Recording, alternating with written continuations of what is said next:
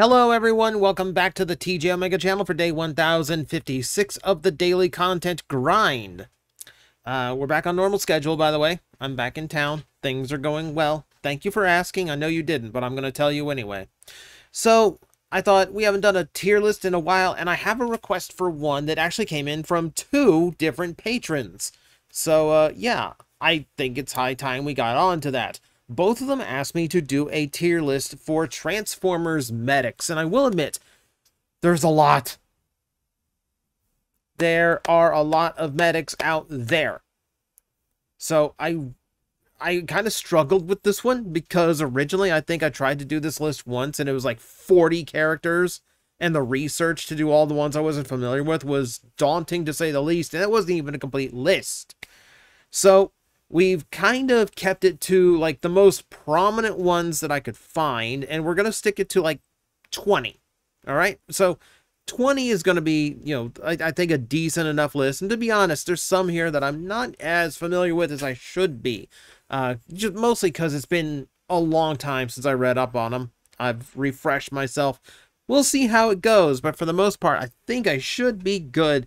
And we're going to start with Ambulon. And I will admit, uh, Ambulon is one where I might not remember all the nuance of the story because Ambulon seemed to fit this weird thing in IDW where he's not Ratchet, he's not even first aid, and it feels like his story is made to be pitied. Ambulon is given the worst alt mode, which is just a leg, because he's part of a failed combiner experiment from the Decepticons. So, a medic that switched to the Autobots, okay, that's a fair enough little twist. That's fine. But his whole thing of like his alt mode is terrible and he's ashamed of it. His name is terrible because all the good names are taken. And then he gets killed. And he gets killed to be kind of like the punchline or like, like the, the turning point or climactic event of, ironically enough, a feud between two other medics that are on this list later on. Ambulon just feels like he could have had more story to him. Like, I don't mind the idea of, like, a medic who is completely down on his luck. Uh, but it really feels like he really was just there to be the butt of a joke, ultimately. Um, he feels like he could have potential as just, like, a, a medic who's trying to let people be better than he turned out. But we never really got there. He got cut in half a little bit too too early for that a short-lived one, an interesting one, CAT scan. So this was a, I don't not bot. I don't think this was BotCon. I think this was OTFCC era. Uh, regardless, it was a, uh, it was a Cheetor repaint, a Night Slash Cheetor repaint. Weirdly enough, to do a medic character, which if you notice throughout Beast Wars and Beast Machines, we don't really have medics there aren't really any medic characters. Beast Wars didn't need medics because of the CR chamber thing. And then, you know, Beast Machines kind of completely skipped over the whole thing because organic healing and all that. So, yeah, uh, it was an interesting thing. We hadn't had a medic in a long time, much less a brand new one.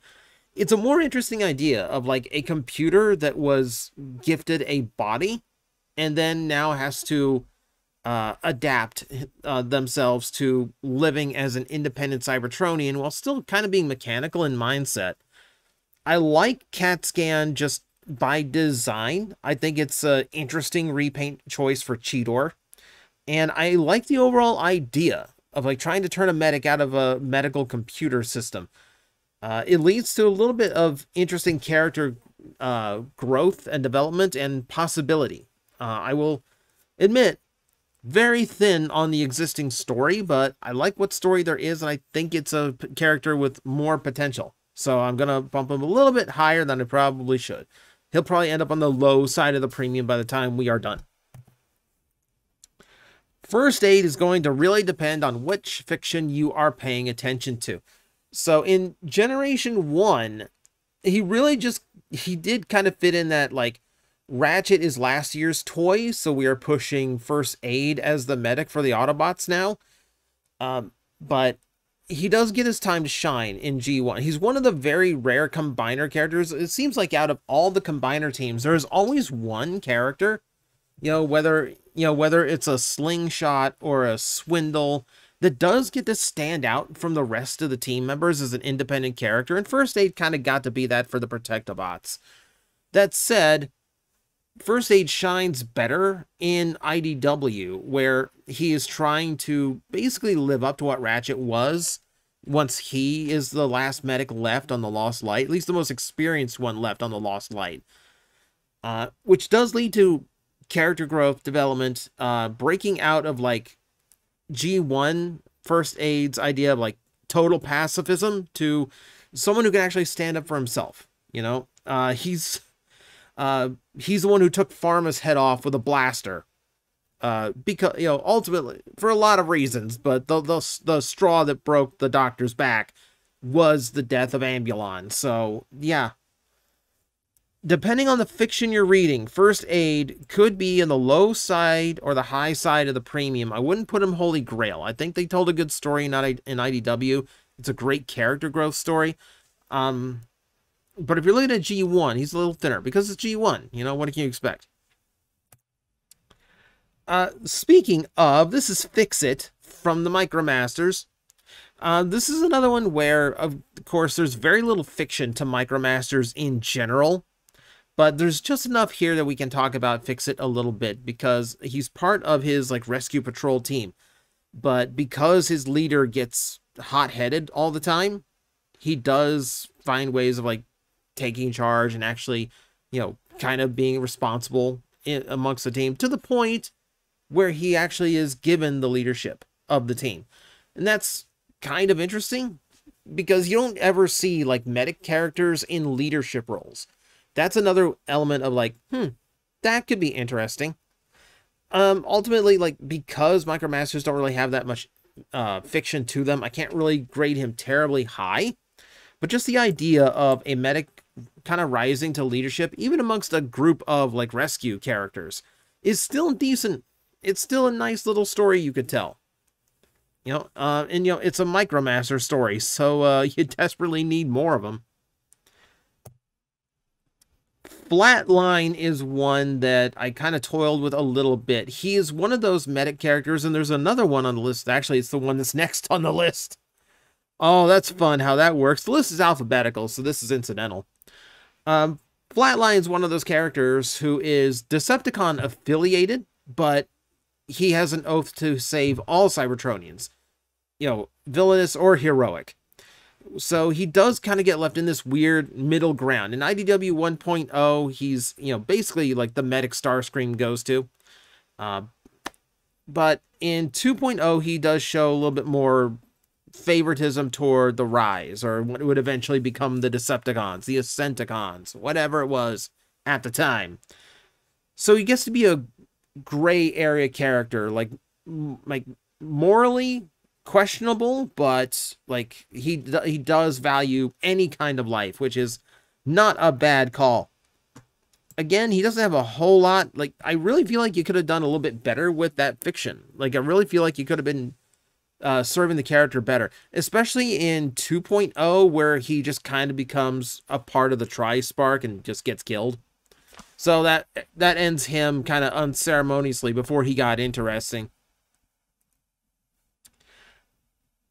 I hate this part. I hate this part. We have to talk about a Kiss player's character with Glit, but don't worry. It's after the creepy stuff went away and they just became like like universe time traveling like pop singers in that weird thing Kiss players did back then. Glit is the same as uh the glyph is the same as uh uh, Flatline in that he doesn't care. Does not care what side of the field they're helping. They're just going to save as many people as possible. So, uh, to the point where, like, even in story, Megatron wanted his front, you know, wanted the the front legs of Glit cut off. And you'll you'll notice me. I've forgotten Glit's gender. Glyph's, Glit's gender. Hang on, hang on, hang on. I just want to make I just want to make sure I'm not. Yes, it is a he. Like I want to make sure because like something in my brain is like, Kiss players are mostly girls. Wait, hang on. Um, At one point, Megatron hire, uh, orders his front legs cut off for healing an Autobot commander. Decepticons like Glit and his healing methods too much to let him to let that happen, which is hilarious. And again, like a good medic ends, ends up with the Autobots eventually, or at least gets depicted with the Autobots a lot. I think it's fascinating not only because like it's a weird one because it's a Ravage repaint, uh, but it again falls in that same level of flatline with the difference of Glit's got more story to him. Kiss players actually tried to tell story later on. So I got to put him above because there's more to work with and he's done more. And from what the legends say of Glit, far better medic.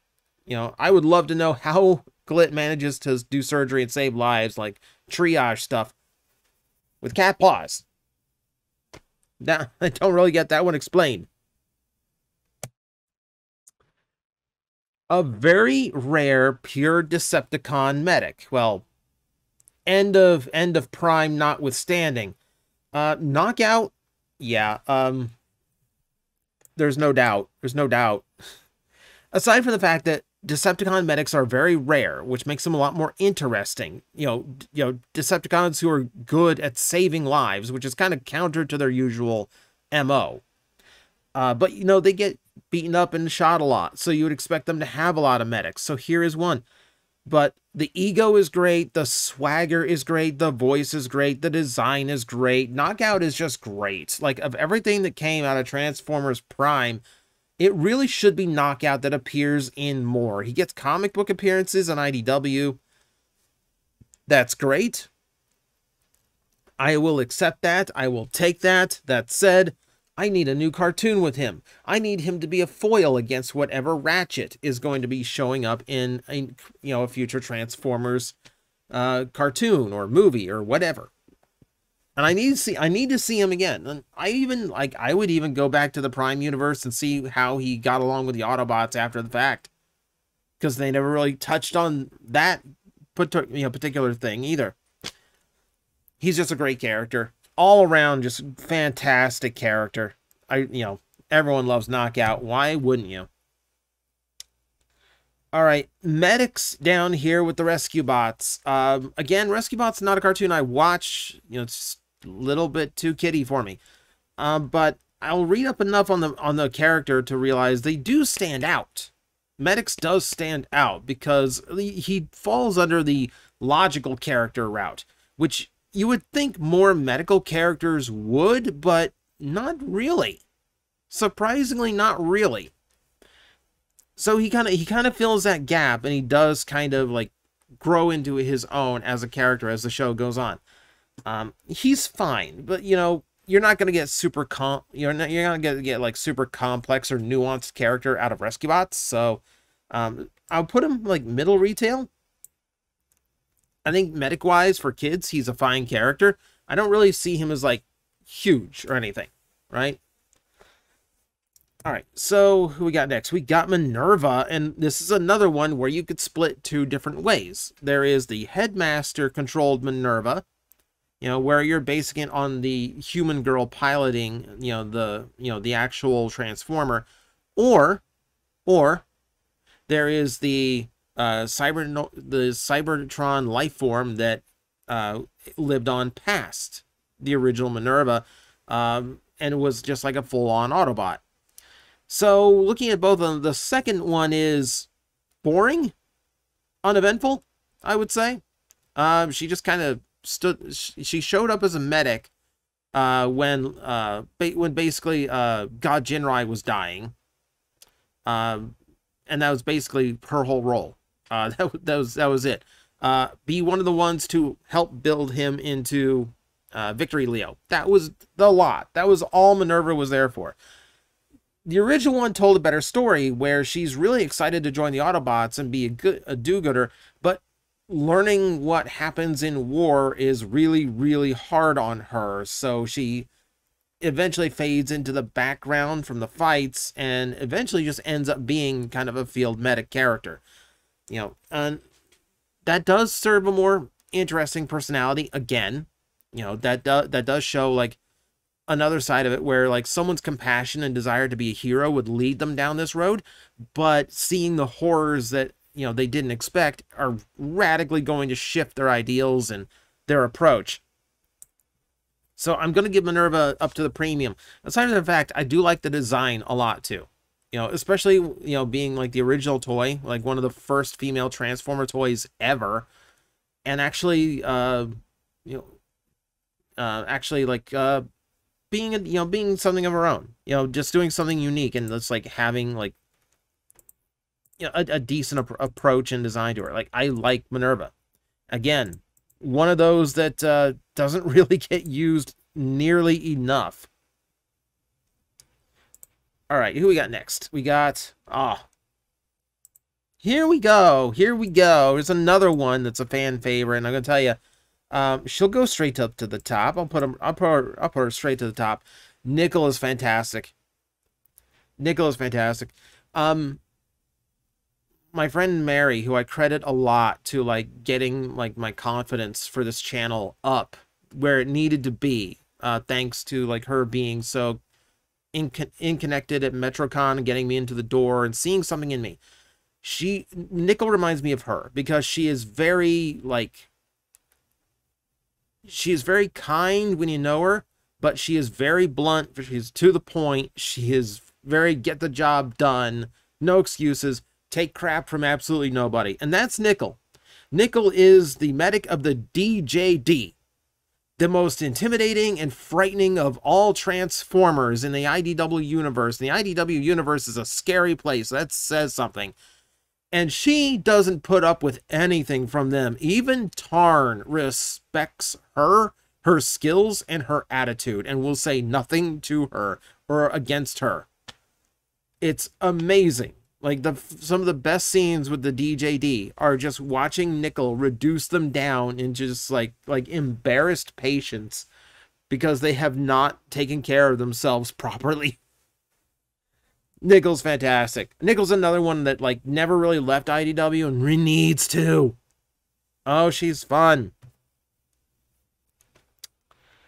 All right, so whether this is the Paradron Medic or whether this is Lifeline, the last surviving Paradron medic who actually got a name. Either way, this really is just a green RC, isn't it? Um, Paradron medic in G1 literally has no fiction. They're on Paradron. Uh, some of them probably escaped the explosion of the planet. That's about it. They were just a reused model. They, you know, it was just incidental that the model they used was RC. Animation errors are fun, ladies and gentlemen. So, uh, yeah, Lifeline, at least they give it a name. They give Lifeline a name so that they can actually put out new toys of her and repaint RCs into her for, from now until infinity. And they never really use her for anything. You know, she just kind of exists. Uh, I'm actually putting her flea market because she is low effort character in G1, just as like design wise goes and she's not really done anything. And like, what would you use her for that you wouldn't use one of the other medics or you wouldn't use an RC? I don't know. It's just disappointing. Pharma. Pharma is interesting in that, like, villainous doctors are always so freaking creepy like I'm like really bad with body horror. It's one reason I don't like modern horror movies like Saw because it's really just like gore for the sake of gore. You know, like and it's like it it's it's uh, like it's disgusting to me. It's unsettling to me. I can't watch it. But that means I can't enjoy what's going on on the screen, no matter how much I know it's fake. It's just like ugh. And Pharma strikes that chord. Like Pharma does horrifying things. You know, leaving Ratchet as just a head in a spark chamber, you know, nailed to his, you know, like nailed to his bed. It's freaky what Pharma is capable of. And just the associations and just like how like villainous that you know that whole side of IDW became. Like there's a lot to unwrap. There's a lot to unwrap. It's weird in that he's one of those kind of like IDW style villains that views himself as an Autobot, but a different different type of Autobot with a different goal and mindset that does come across extremely villainous. And there again, villainy that feels justified is always more is always interesting. And Pharma makes for a really, really good twisted villain. I'm putting up very, very high on that list. I like him a lot. Actually, you know what? No, you know what? I'm looking at some. I'm, I'm looking at what's coming up. Premium, top of premium. I'll give you that, Pharma, because uh, we've entered the Ratchet zone. And when you enter the Ratchet zone, you have to acknowledge that there are a lot of different takes on the original uh, Ratchet. Um, and really takes that I should have included. I just realized that the IDW Ratchet is not in here. So you know what? Because it's based on a G1, I'm going to lump it in with a G1. Uh, because I did that with fir- I did that with First Aid. That's fair. But we're going to talk about animated Ratchet right now, and animated Ratchet, I'm telling, it's like, mm, animated Ratchet is just peak crotchety, seen it all and sick of it all type medic. You know, he, he you know, he's there because he still wants to do good, but he is past his prime, worn out, and just like fed up with everybody. He is just that right level of crotchety to just still be endearing enough to enjoy and still just be like mm, just a just a fun character type, you know, and he makes for a really good foil for like all the young Autobots that he has to be surrounded by while he's on Earth. Great foil for them. Like that's really the the origin of like crotchety Ratchet, and it really is like something that needs to move forward more. Like we need more met we need more medics like animated Ratchet. What about the G1? What about the G1? So if we're looking at the original G1 cartoon, he's not really crotchety. He has his like moments of gruffness, but overall, he seems like he's got some good bedside manner to him. Um, he's exceptionally efficient. Um, and yeah, like he he seems like the kind of doctor you would want to be like the assistant for. If you were in the medical field, he's a great one to just be the the MA for.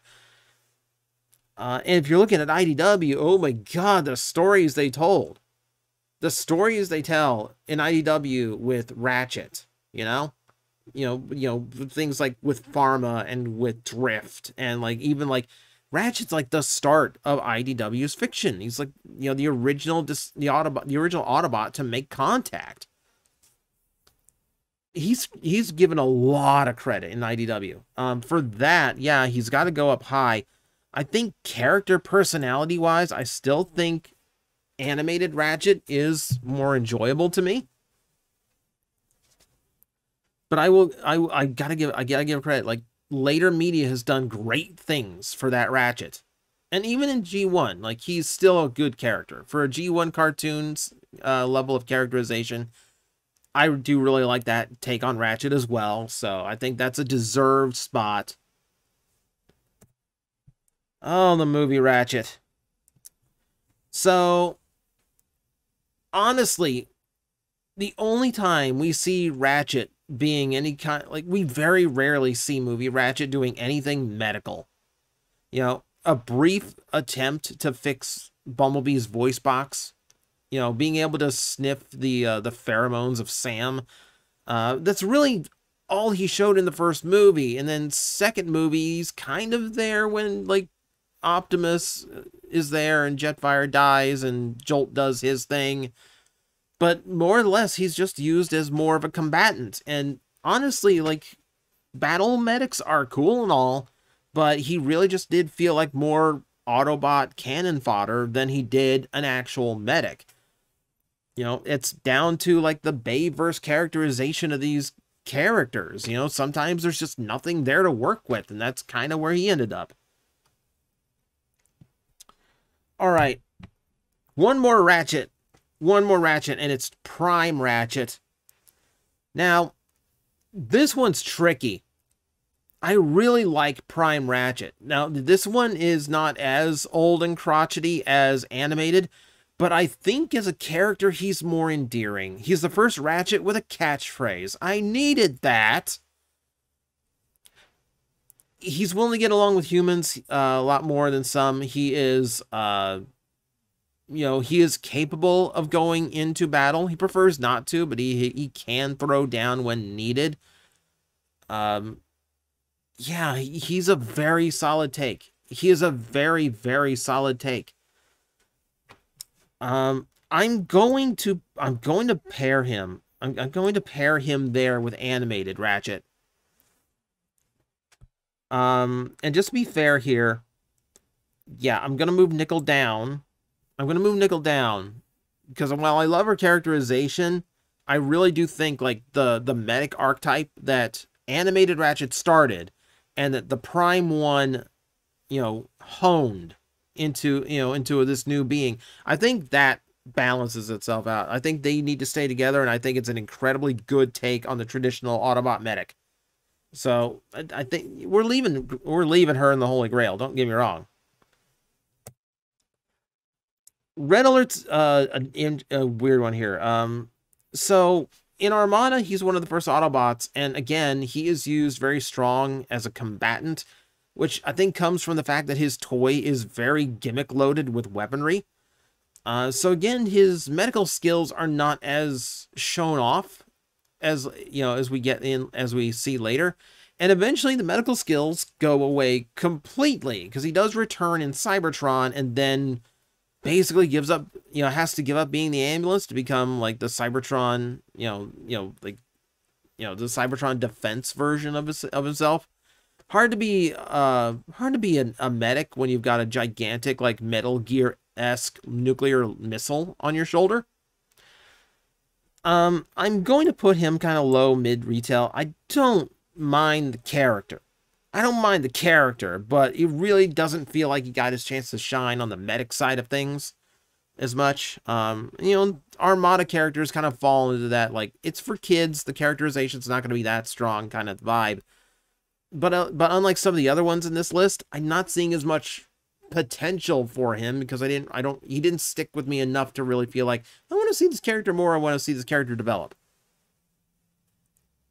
Speaking of not sticking around very long, uh, we're throwing in Scalpel because he's got one good line, which is to tell the Decepticons in Revenge of the Fallen to uh, slaughter the little one so that we can use him to rebuild Megatron. Uh, beyond that, he shows up. He acts super creepy. Um, he's like a little like repair ant thing in the next movie. But beyond that, yeah, I think the idea of like a micro surgeon type robot makes him a little bit interesting. But yeah, like it's it's again in that movie verse element of like kind of a non-character, kind of a nothing of a, of a character. I can't put him very high. I just can't. Also, the microscope mode kind of sucks. Just saying. All right. I put Scar on here because he's one of the most recent medics in Transformers, admittedly with one of the smallest elements of story. But I'm putting him in here, and I'm justifying this. It's not just because he's the Ankylosaurus uh, Dinobot that I always wanted. It's not just that. It's the fact that he is the medic for the Dinobots, and that's an interesting concept in and of itself. Because Dinobots take a heavy amount of damage. How good of a medic do you have to be to respond to a Dinobot who needs to be repaired? You know, how tough of a medic are you when you can go out on the battlefield and retrieve a Dinobot that, you know, that was fighting something capable of hurting it that badly? That's got to be a tough medic. You know, and I think that's where the plated Ankylosaurus with a with a club tail on the back, you know, you know, given like him a chance, you know, something to attack with while retreating and taking someone off the field, that makes sense for the beast mode. I think that actually plays in quite nicely. Admittedly, fictionally, he doesn't have a whole lot. I will put him at the bottom of retail release because I think concept-wise, he is great. I think the concept is great. And I do think his design sets him apart enough from the other Dinobots for me to be happy with him. But I will admit, I will admit, yeah, uh, there's nothing really to go on. He's a nothing character. I will admit this. And we're going to finish it off with Velocity, potentially the youngest of the medics on this list. Uh, she's a Camien who came to Cybertron to become a medic. She's fresh out of the academy, learning a lot of this on the field for the very first time. So that gives her a much more upbeat personality than these medics usually have. It gives her more of a uh, oh, you know, more wonder to the world that she is in, especially because she's discovering Cybertron. She hasn't been hurt by the war. That's a huge, huge thing. She's one of the few medics in this list that has not had to suffer and look at millions of years of Cybertronian war to harden them or make them cold or crotchety. She is bright, upbeat, eager to adventure. And even with the adversity thrown at her, because living on the lost light ain't easy, she is she takes it as a growth experience. She's down for more. Velocity is a very fresh character in both concept and her own view.